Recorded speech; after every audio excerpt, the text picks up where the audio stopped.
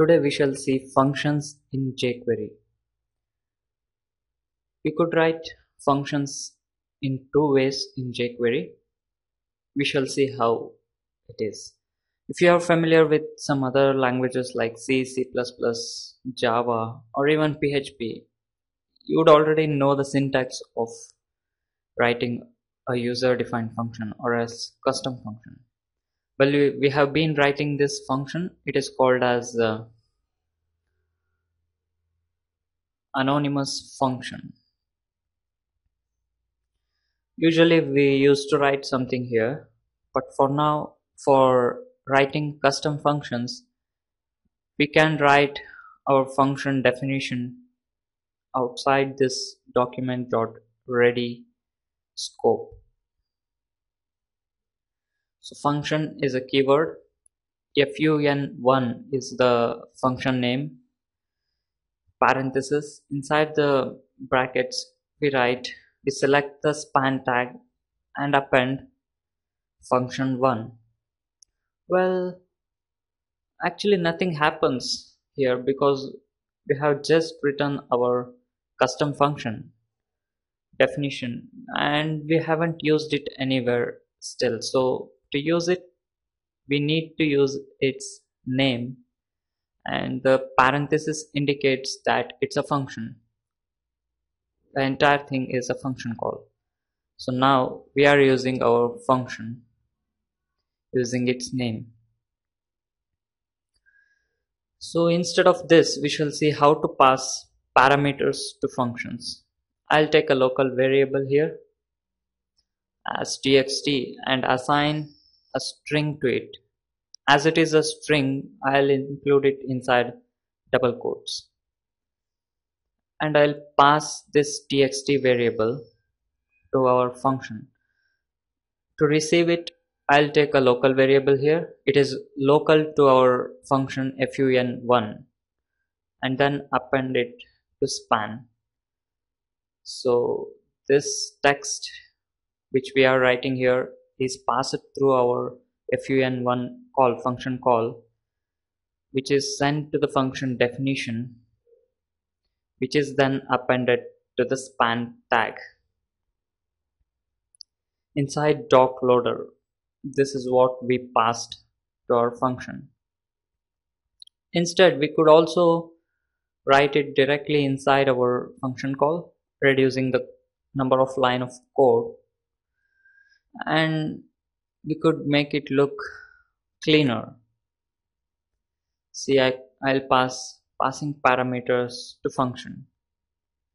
This could pass this parameter to txt local variable of fun1 function. So it is reflecting so it's working. So now we have we could write this function in another way.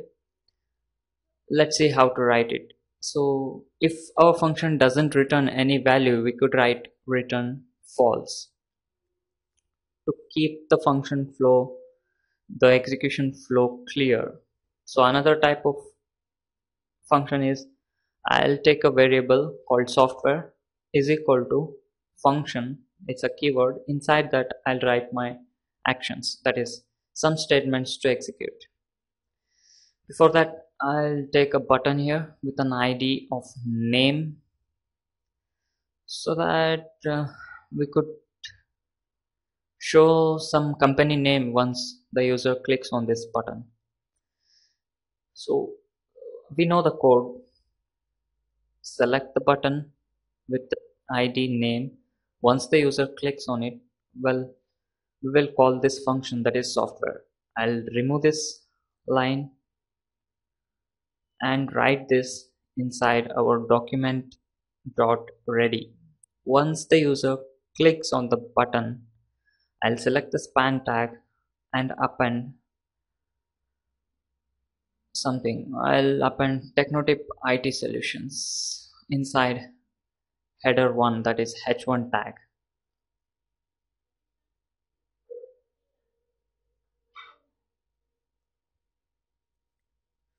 that's it.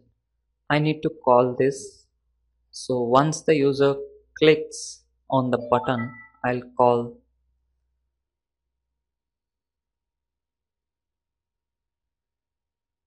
so that our next line of text displays. In next line I have added br tag here.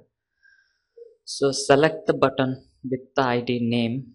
Once the user clicks usually we used to write some anonymous function inside this like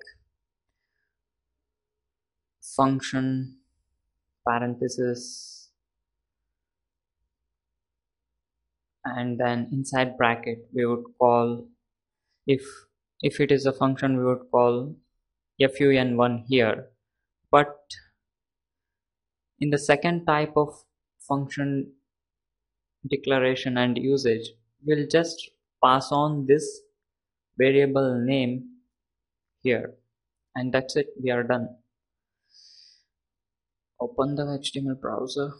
Once I click I'll get Technotip IT solutions with a header of h1 well we have seen another type of binding that is bind inside parenthesis. I'll write the event which is click next the function name which is software in our case we not we need not include parentheses for this type of function. Now I'll change this to some other company names like Microsoft Private Limited. Microsoft Limited. I've commented the first line. Now let's see once I click Microsoft Limited is printed so these are the two types of functions. One thing we have left over is return type. So to demonstrate that I'll take two local variables here. Once the user passes these two variables that is a and b value of a and b I'll add them and store inside another local variable c and then return the value of c which is result now I'll take a variable called d let me pass two values 10 and 20 which will be passed to this function and the result will be returned and stored inside the variable d. Now I'll print that value inside our span tag. That's it. This is how return value works. Return type works. Just 30. 10 plus 20 is 30 this is how we return. To reduce the line of code we could also write return inside parenthesis just add the value of a and b. We could do this too. So this is how we write functions. We have shown two types of writing the function and passing the parameters returning the values. And if when there is nothing to return we need to write return false. This is the standard.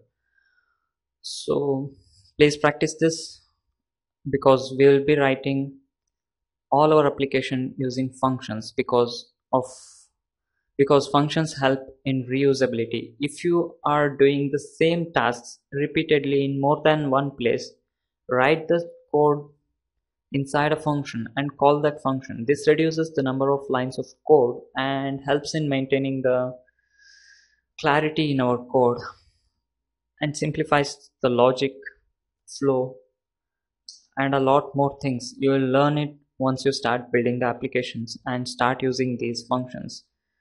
So please practice this.